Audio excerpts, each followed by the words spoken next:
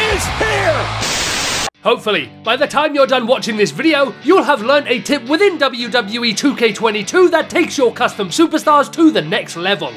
What is up everybody, it's your boy Cameron Bash here and welcome back to the Movement channel, where today, we're going to be covering a recently discovered glitch within WWE 2K22 that allows you to use more parts when creating your custom attires. Now we're going to be covering all of the ins and outs of how to use this method and what exactly this could mean for creators, so make sure to slap that like button because we're about to jump straight into this. So, within WWE 2K22's Create a Superstar mode, there are many different attire pieces that you have to choose from to make your attire how you want. The customization in this game is rivaled by very few other game franchises, but with this trick that we're about to show you, you're going to be able to use even more parts when creating your attires. More specifically, the entrance pieces.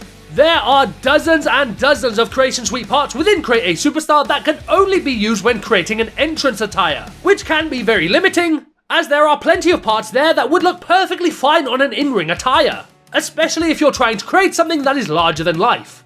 So, let's show you how to do that. First thing you're going to need is an already created superstar. The reason you'll want to use an already made superstar is because this can only be done on the second attire or alternate attire for in-game superstars, and cannot be done for the first attire that you make. Select the custom superstar you would like to do this to, and select edit.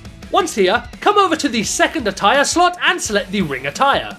When you enter the screen to edit this attire, the very first thing that you're going to want to do is change the attire type, which is located at the top of the screen. This is the option that won't appear on attire 1, and the reason why you can't do this glitch there. Change the attire type from superstar to manager. By doing this, you will open up the game to allow you to use entrance attire pieces while making the ring attire, something you would not be able to do if the attire type was still superstar. Once you have completed your attire, adding all the entrance attire pieces that your heart desires, before you save, you'll want to come back to attire type and change the type back to superstar, and then save. This will make it so this attire can be used to compete in matches again, and won't remove any of the entrance attire pieces that you added. Feel free to copy this attire to your entrance attire as well with no problems, save the custom superstar, then select it for a match. You'll see that once you enter the match, the attire that you made will be there with all of the entrance attire pieces that you selected, and there you go. That is how you perform this glitch.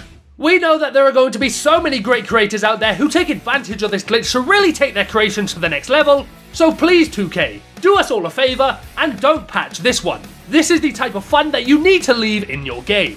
But with that guys, that is going to do it for this video. We would love to hear in the comment section down below as to how you guys plan on using this glitch in your creations. And before you head off, don't forget to drop a like on this video and subscribe for more WWE 2K22 content. Thanks very much for watching this video and we'll see you soon for another one.